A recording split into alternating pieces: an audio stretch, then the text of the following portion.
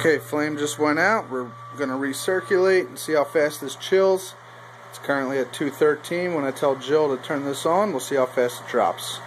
Alright, go ahead, babe.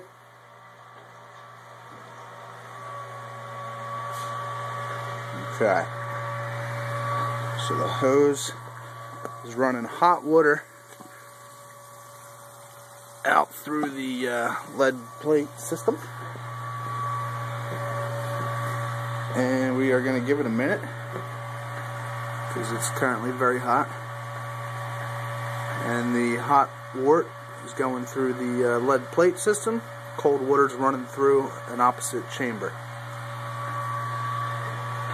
And 210, 209, 208, 207. As you can see, it's dropping. Once it hits about 140, I will use this ice bath here to get it down to about 70.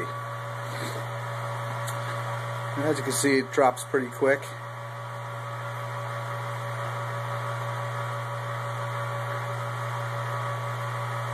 So it is proof that this Blichmann Therminator does indeed work.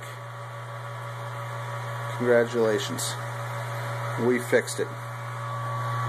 With this old uh, hop bag here. And the boil screen down at the bottom. It's dropping quick.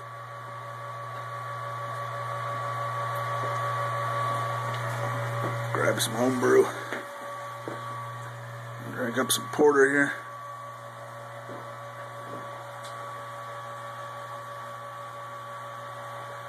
Ah, it's delicious.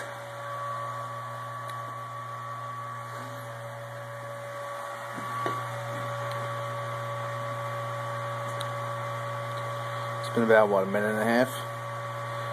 Drop 30 degrees. Get it down to, uh, again, 140 or so. Then we'll give it the ice bath.